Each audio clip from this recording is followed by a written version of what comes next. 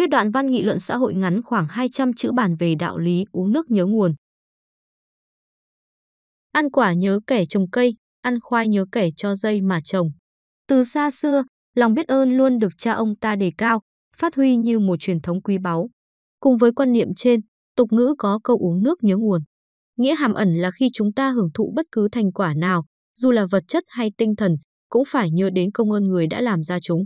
Ăn một bữa cơm no đủ phải nhớ đến người làm ra hạt gạo, mặc một chiếc áo ấm áp phải biết ơn người đã thiêu diệt lên. Câu tục ngữ như một lời răn rất triết lý, rất nhân sinh, hướng con người trở nên hoàn thiện hơn.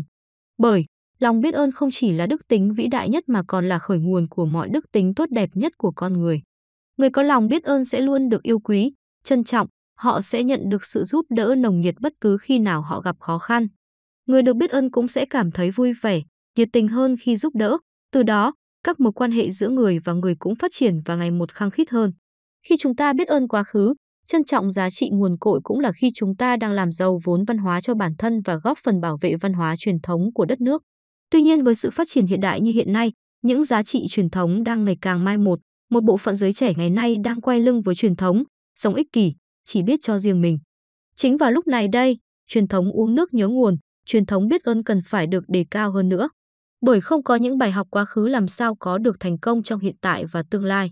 Vậy nên, hãy chất chiêu những giá trị tốt đẹp từ quá khứ bằng lòng biết ơn, nhưng cũng vừa nhìn vào tương lai một cách đầy tích cực và chiến đấu với thực tại thật nhiệt huyết.